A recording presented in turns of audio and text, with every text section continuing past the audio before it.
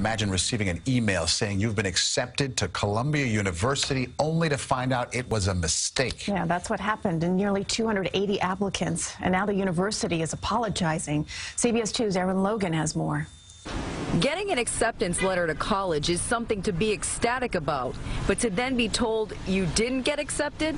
Some people are very upset. I think it depends on the person. Columbia University officials confirmed that 277 incorrect acceptance letters were sent out Wednesday to applicants for the School of Public Health's master's program. If I were a student that received that letter, I definitely would have been upset, but I feel like these things happen at universities, and I really don't know what type of you know reprieve the university would, would allow for because I mean they can't accept them if you know the original decision was to be that they weren't accepted. The mistake was noticed immediately and university officials say within an hour apology emails were sent out to all 277 applicants. There's still that hour that you probably told everyone you know, you told your friends, you put it on Facebook and then oops didn't happen. That's so incredibly heartbreaking. I'm very sad to hear that that happened to people. Fashikhan, a third year medical student, and Wang, an undergrad student, have slightly different perspectives.